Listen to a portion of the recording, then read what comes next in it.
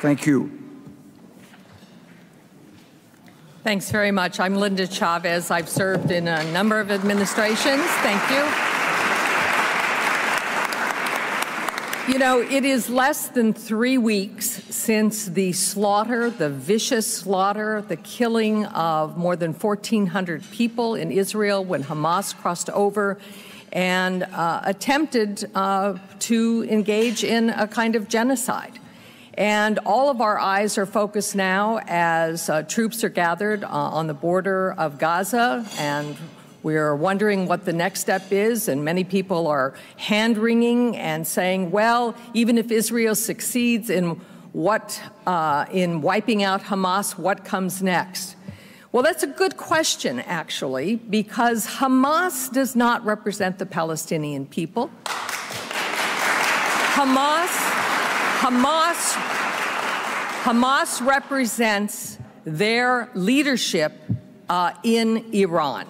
And in fact, without, without Iran, there would be no Hamas, there would be no Hezbollah, there would be no Islamic uh, Jihad.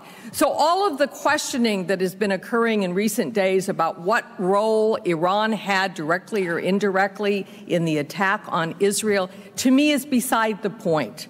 They are, in fact, the progenitors of these organizations. And we will not have peace in the Middle East until we deal with the situation in Iran. And that can only be done by regime change, by removing the Ayatollah.